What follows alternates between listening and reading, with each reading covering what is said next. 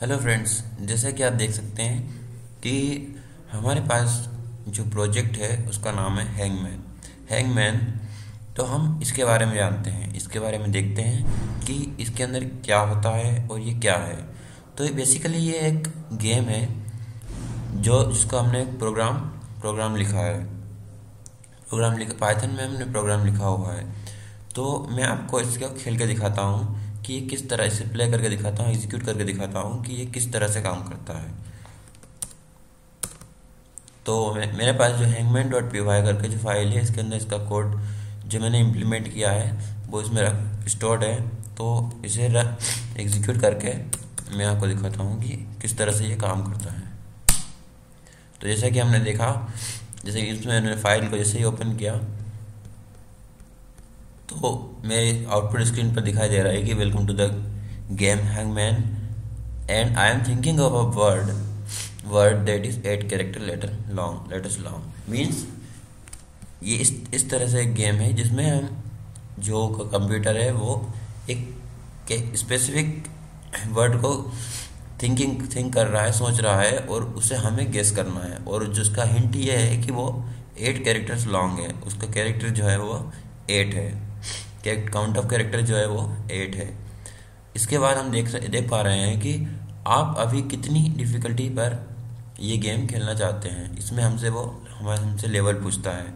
In level के according हमारे पास life कम या ज़्यादा होती है। जैसे कि अगर हम ए लेवल को चूज़ करते हैं तो हमारे पास लाइफ ज़्यादा होगी।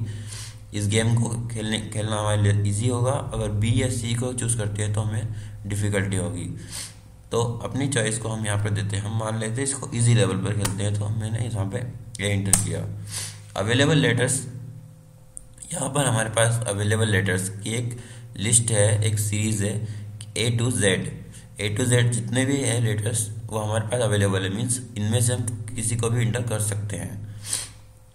इसके बाद में तो हम देखते हैं कोई कोई लेटर इंटर करके देखते हैं, जैसे कि एल जैसे कि मैंने एल एंटर किया तो एल जो है हमारा उसने एक्सेप्ट कर लिया है कि हमारा जो लेटर है एट लेटेस्ट लॉन्ग जो हमारा वर्ड है, उसमें कहीं ना कहीं एल है और वो सबसे पहले हमारा एल आता है। तो इस तरह से उसने एक्सेप्ट कर लिया। लेकिन अब आगे मैं कुछ गेस करता हूँ, जैसे कि जे नहीं, इससे मेरी एक लाइफ कम हो गई है। Remaining life seven and जेज you can see the picture यहाँ पर एक स्टैंड दिखाई दे रहा है जहाँ पर कुछ यहाँ पर हम कुछ लटका हुआ सा देख पा रहे हैं।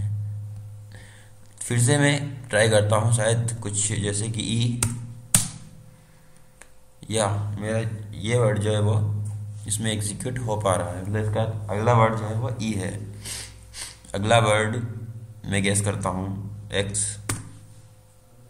L A R R M N N O इसमें जो एन है वो हमारे पास है। ठीक है, अभी अगर इसमें गैस नहीं करना है, मैं सोचता हूँ कि कुछ डाल डाल दिया। जैसे कि सिक्स तो हमारे पास एक लाइफ कम हो गई।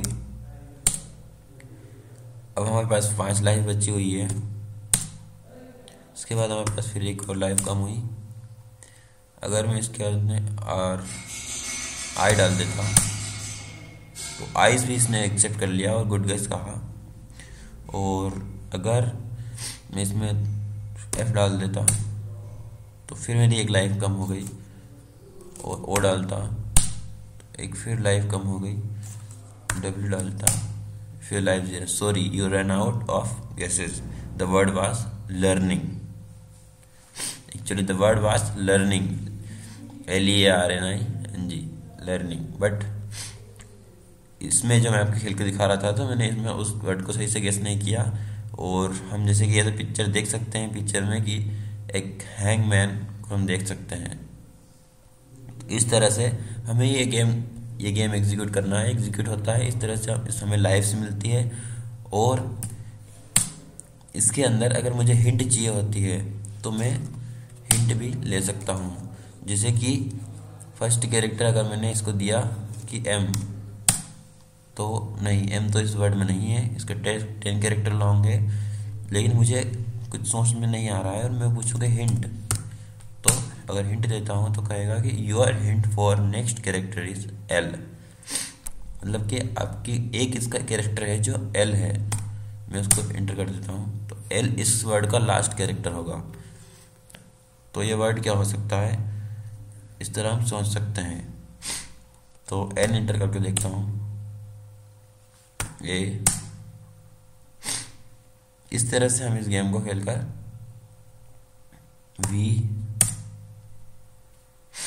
के second third last R R भी है इसके अंदर। आओ नव। अच्छा ये तो हमारे कैंपस का नाम है, नव गुरुकुल। ओ नव जी यू congratulations you won we won okay so it was basically a game it was basically a guessing game okay thank you we will meet in next video about how can we set up in our system this game and how to implement start implementing on this game